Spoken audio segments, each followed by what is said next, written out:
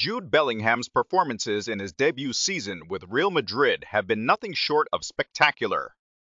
The 20-year-old has almost single-handedly secured Real Madrid's 36th La Liga title with his late goal against Barcelona, opening up an 11-point lead with just six matches remaining. Bellingham joined Real Madrid from Borussia Dortmund in the summer for a staggering fee of £115 million.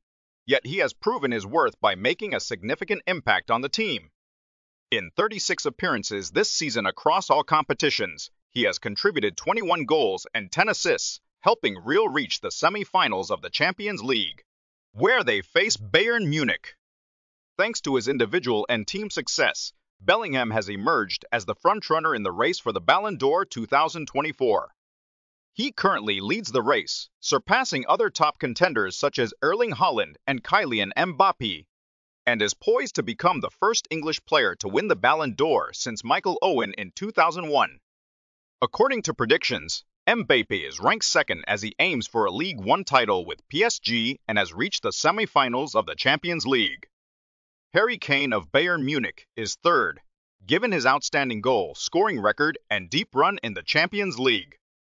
Fellow Englishman Phil Foden of Manchester City rounds out the top four contenders due to his consistent performances. Other notable City players such as Kevin De Bruyne, Erling Haaland, and Rodri also rank in the top 10, despite being knocked out of the Champions League by Bellingham and Real Madrid. The Euro 2024 tournament will play a significant role in determining the Ballon d'Or winner. Bellingham, Foden, and Kane will be key players for England, while Rodri and Mbappe will represent Spain and France, respectively. The outcome of this tournament could heavily influence the Ballon d'Or race. Meanwhile, South American stars like Vinicius Jr. and Lionel Messi may face a disadvantage due to their participation in Copa America, which may not hold as much weight as the Euro tournament. Liverpool's Mohamed Salah is also in contention for the Ballon d'Or, though his chances may be limited due to his team's early exit from the Europa League and slim prospects in the Premier League. Nevertheless, Salah remains a key figure for Liverpool and has shown significant influence despite turning 32 this year. Stay tuned for more updates on the Ballon d'Or race and analysis of the contenders.